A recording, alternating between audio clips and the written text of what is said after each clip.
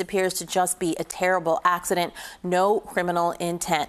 And as the president addressed the nation, offering support to the families of those unaccounted for and pledging all of the nation's resources to help Baltimore recover, he also shared that the now affected port there in Baltimore is the busiest in the country for car imports.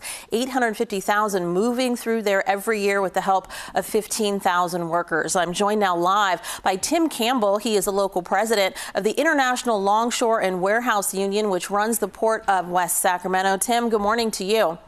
Good morning. How are you? I am okay. This is just a tragic day in the country. Given the work that you do, rivers, vessels, moving through a port area, that's all top of mind for you. What went through your mind when you heard about this accident in Baltimore? Tragic.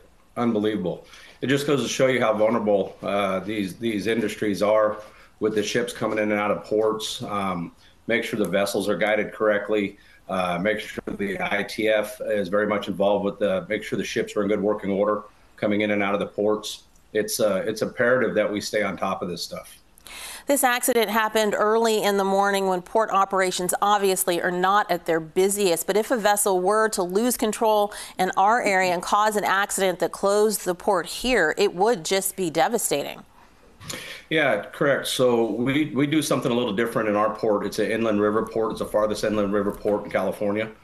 And we have a tug operation through the Master Mates and Pilots Union that brings the ships in and out of the port under tug power instead of under ship power.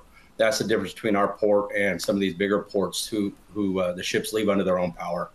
Already, you see vessels come and go all the time, every day. You and your union believe this incident really underscores the need for thoughtful bridge infrastructure.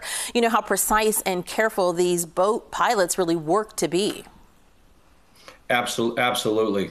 Uh, the the bridge itself is is vulnerable. Anytime something touches it, it could take a bridge down instantaneously, as we saw in Baltimore. I spoke to Scott Cowan, who's the vice president of ILA out there and on the East Coast in Baltimore. And he said they finished the ship up right around 11:30 or 12:30, and his people were uh, going across the bridge afterwards and barely missed this accident.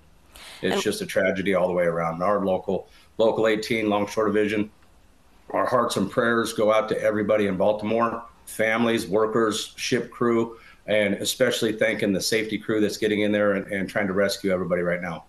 We know that the boat pilot, the harbor pilot, was able to get a Mayday in to shut down traffic going across the bridge. You just mentioned that, you know, some of the, the colleagues that you have in this industry had just finished work and were going across that bridge home. This is really a delicate dance between several different sorts of specialties that make our rivers and ports work.